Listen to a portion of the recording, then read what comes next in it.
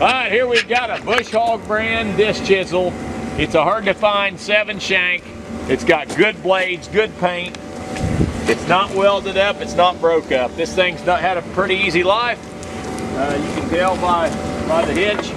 The disc blades, that's what you really care about. Disc blades are, uh, they're about 18 and a half.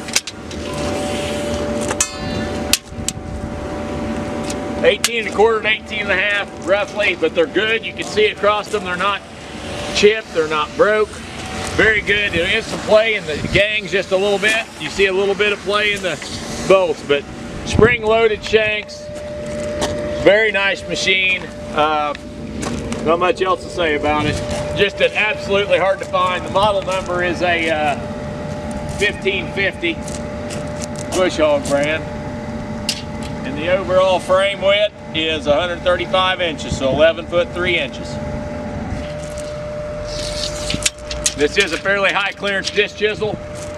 Uh, to give you an idea, the bottom of that point to the frame is about 33 and a half inches.